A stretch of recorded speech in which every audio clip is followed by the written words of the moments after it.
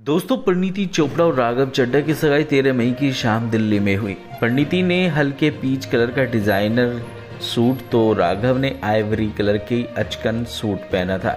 सगाई के बाद दोनों की रोमांटिक तस्वीरें छा गई। सगाई के बाद कपल ने अपनी रिंग भी फ्लोट करते हुए सोशल मीडिया पर फ़ोटो शेयर किया। रिपोर्ट्स की माने तो परिणीति ने राघव को लाखों की कीमत वाली अंगूठी पहनाई।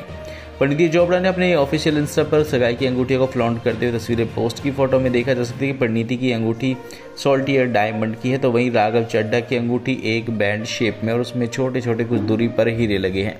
रिपोर्ट्स की माने तो राघव चड्डा की अंगूठी की कीमत एक लाख पाँच हज़ार रुपये बताई जा रही है।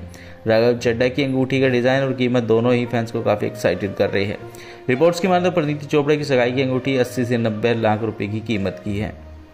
जिसे एक्ट्रेस लंबे समय से पहन जमकर फ्लॉन्ट भी करती नज़र आ रही थी। परिणीति चोपड़ा बीती रात सगाई के बाद जब मीडिया के सामने अपने मंगेतर राघव चड्डा के साथ आई तो उनके चेहरे की मुस्कान बता रही थी कि वह अपने इस रिश्ते से कितनी खुश है। बता दें, राघव चड्डा और परिणीति चोपड़ा के लंबे समय से एक दूसरे को पहचानते खबरों की माने तो दोनों लंदन स्कूल ऑफ़ इकोनॉमिक्स में साथ ही थे।